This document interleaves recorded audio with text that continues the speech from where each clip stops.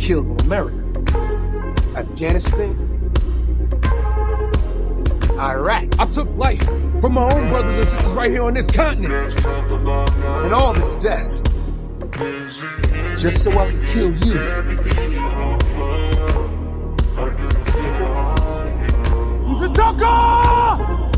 What's up? I never yielded! And as you can see, I am not dead!